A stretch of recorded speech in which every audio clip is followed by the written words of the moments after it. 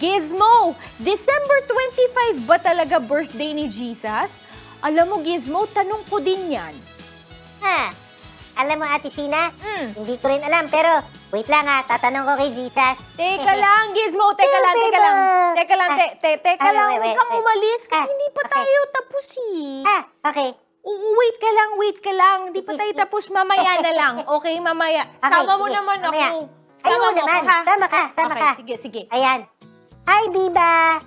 Alam mo, actually, wala talagang nakasulat sa Bible kung ano yung petsa exactly kung kailan pinanganak si Jesus. Pero bilang bahagi na rin ng tradisyon na nakasanayan na natin na December 25, ang celebration, ang mahalaga ay yung tunay na diwa ng selebrasyon. At yun si Jesus na ating Panginoon dumating para iligtas tayo.